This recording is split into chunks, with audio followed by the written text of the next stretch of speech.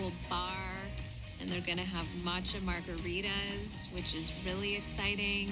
And I'm so excited to have a good restaurant to go to in Calabasas. Hello, how are you? Good. Thank you. Ooh. Yep. What do you guys think? It's wild, right? Your server will be with you shortly. Thank you. It's gonna be a game changer. It's crazy. We are here with Reign and Penelope, Atiana, Alabama, and friends. Your family's not there though. That is my family. Travis, Wait, T-Long, what's the greeting? Oh, I missed when that. someone cameras us, can one of them camera us? Mm-hmm. Are you videoing? Okay. There's, Can you camera us? Carter.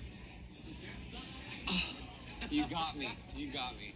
It's really cool that Travis made this lifestyle choice 15 years ago to be vegan and then has gone on to open these restaurants with his friend and chef, Tal.